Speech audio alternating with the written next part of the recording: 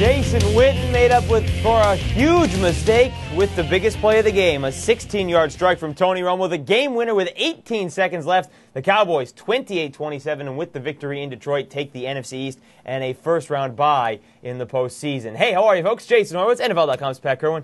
Glad to be with you on the Subway postgame show. And Pat, Detroit had every chance to win this game. A missed 35-yard field goal from Jason Hanson, a fumble recovery that they didn't pick up on that last drive. But what this game says more than that is about this growing thought and this growing legend that is Tony Romo. Yes, it does. And it reminds me of my days at the Jets when we had to face Dan Marino and Jim Kelly.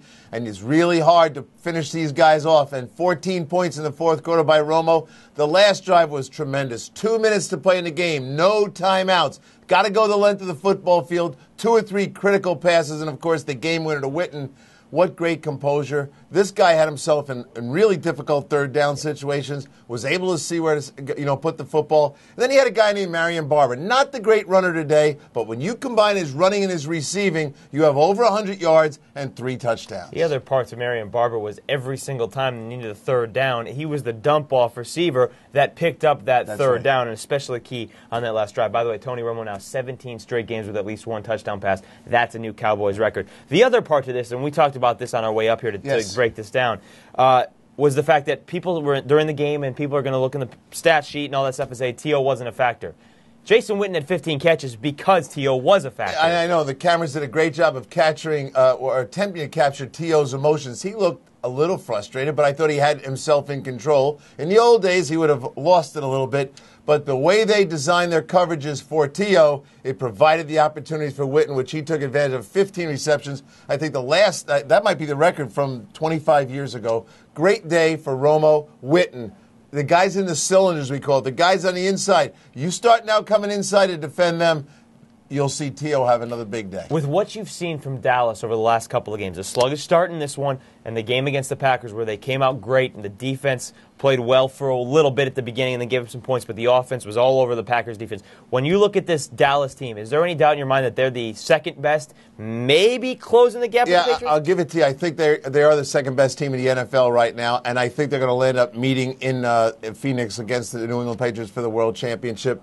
And they have a quarterback. This game reminds me so much of the Buffalo game. Another game we talked about when they should not have won the game, but it's the presence of the quarterback and the an idea of what they want to do with the football down the field. And nobody, and I think it starts with Wade.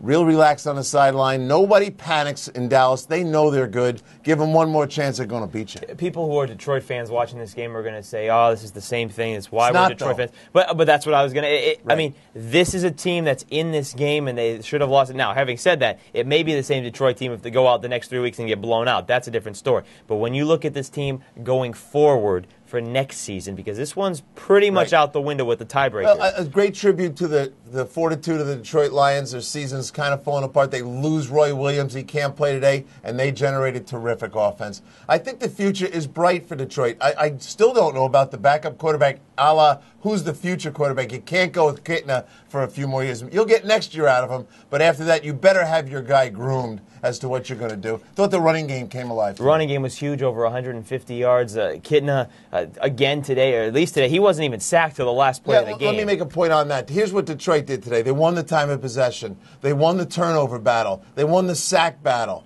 They won the third down battle. Lost the game. But there's a lot to build on here. I felt bad for Rod Marinelli. The challenge for the Detroit football team, Rod Marinelli will, will do his best, but the challenge is finish this season strong. Today took their heart out a little Yeah, bit. it'll be tough when they go to San Diego next week, a team who today got a huge comeback victory at Tennessee and will have a lot of momentum going home next week. Folks, for more on this game or any other here in Week 14, be sure to stay with CBSSports.com and watch everything else on the CBS Audience Network. For Pat Kirwan, I'm Jason Horowitz. Cowboys are 12 and 1. Take care, folks.